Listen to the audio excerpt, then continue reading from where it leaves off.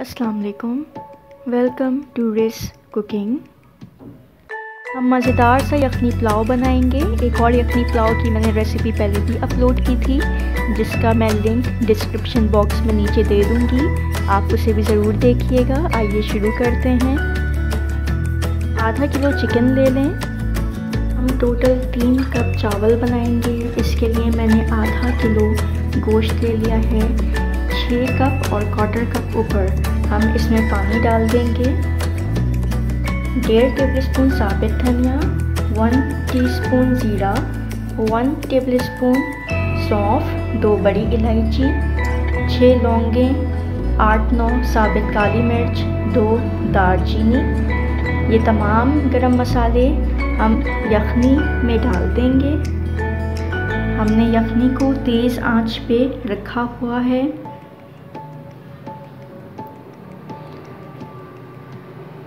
मैंने तमाम गरम मसाले डाल दिए हैं। दो तेज़ पत्ते मैंने डाल दिए हैं। आँच हमारी तेज़ है। एक बड़े साइज़ की प्याज मैंने चार टुकड़े करके डाल दी है। अब हम बॉईल आने के बाद लिड से कवर करके तेज़ आँच पे छोड़ देंगे। बॉईल आ चुका है।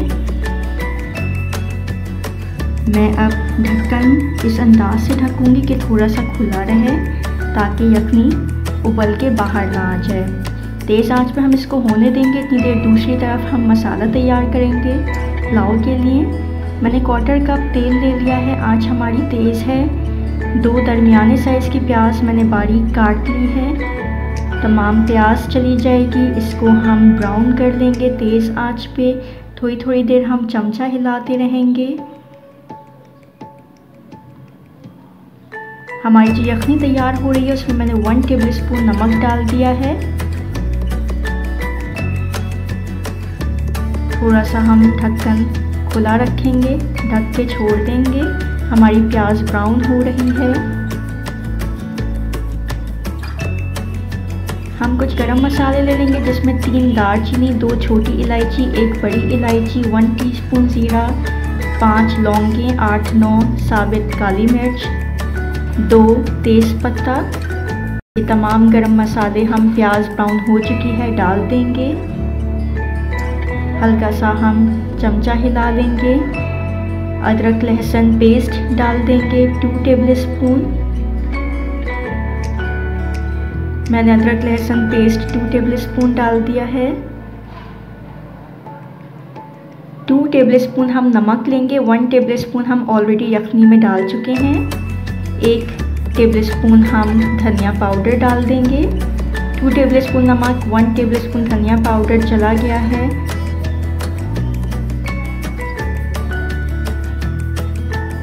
हम हल्का सा मसालों को भून लेंगे। हम चार हरी मिर्चें लंबाई में काट लेंगे, पाँच इमली। हमने ले ली है तीन टमाटर और थोड़ा सा हरा धनिया पुदीना। इमली का बड़ा अच्छा टेस्ट आएगा पुलाव में। इसलिए हमने पाँच इमली भी डाली है। हम पाँच मिनट पका लेंगे, भुनाई कर लेंगे। साथ ही में हमारे मसाले भी भुन जाएँगे। पाँच मिनट हो चुके हैं। हमारे टमाटर थोड़े सॉफ्ट हो चुके हैं। तेल अलग हो चुका है। अब हम जो हमारी यखनी तैयार हो रही थी, गोश्त गल चुका है। इसमें से तमाम गोश्त निकाल लेंगे सिर्फ़, और हम मसाले में डाल देंगे। मैं यखनी में से तमाम चिकन गोश्त निकाल कर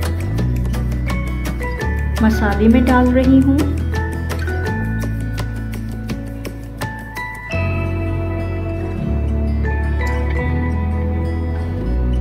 तमाम गोश्त इस तरह से निकाल लें। यखनी हमारी अलग हो जाएगी।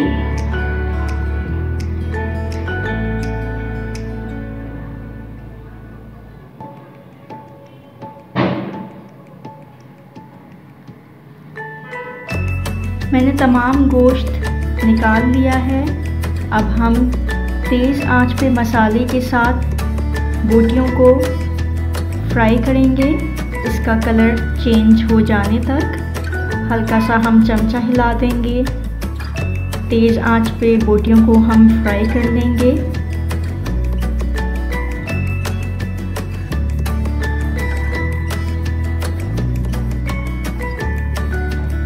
आप देख सकते हैं बोटियों ने अपना कलर चेंज कर लिया है।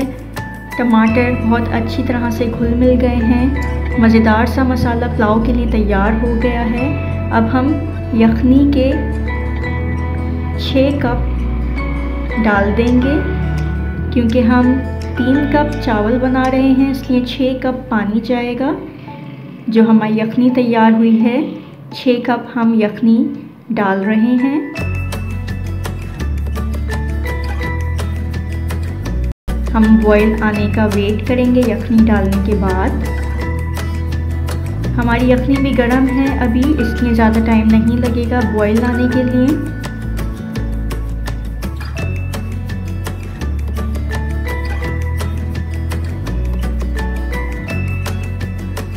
छः कप यखनी मैंने डाल दी है।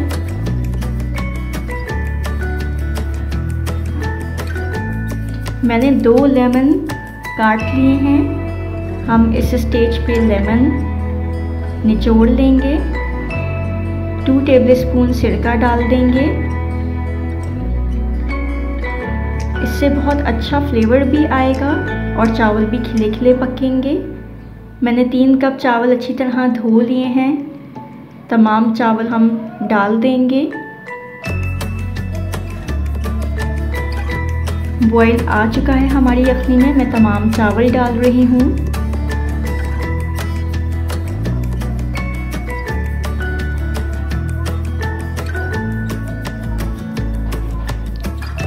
तमाम चावल इसमें डालने के बाद हम तीन मिनट तक इसको तेज़ आँच पे पकाएँगे, ढक्कन खोल के।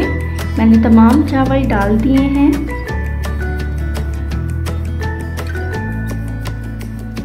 तीन मिनट हमने ढक्कन खोल के इसको पका लेना है।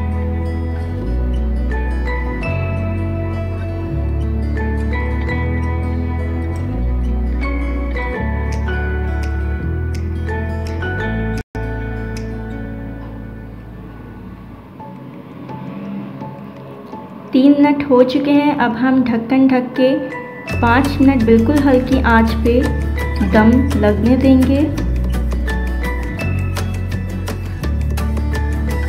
पाँच मिनट हो चुके हैं। हम ढक्कन खोल के चेक कर लेंगे। चावलों को हम ऊपर नीचे अच्छी तरह से मिक्स कर लेंगे ताकि नमक ऊपर नीचे अच्छी तरह से मिक्स हो जाए।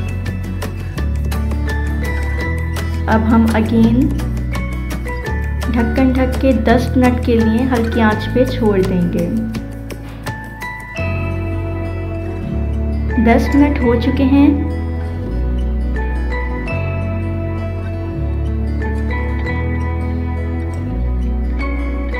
आप देख सकते हैं मज़ेदार सा यखनी पुलाव तैयार है।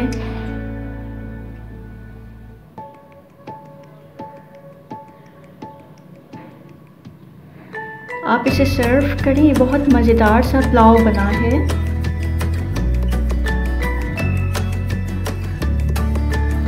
थोड़ा सा मैं ऊपर कलर लाने के लिए अच्छा दिखने के लिए, जर्दे का रंग डाल रही हूँ। मैंने half tablespoon half quarter cup में थोड़े से पानी में मिक्स कर लिया था। एक मिनट मैं इसको दम दे दूँगी हल्की आँच पे।